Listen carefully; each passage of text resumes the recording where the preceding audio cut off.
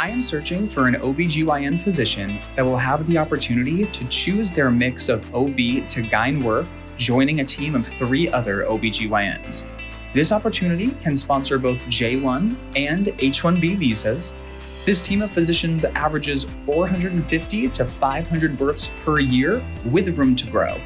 You will have the ability to earn the 90th percentile MGMA income with a competitive base salary plus sign on and relocation bonuses, as well as WRVU production. This position is located in the number one place to live in Kentucky and ranked as one of the friendliest towns in the US, just an hour and 50 minutes from Nashville, Tennessee. If you or someone you know would be interested in this position, please reach out to me today.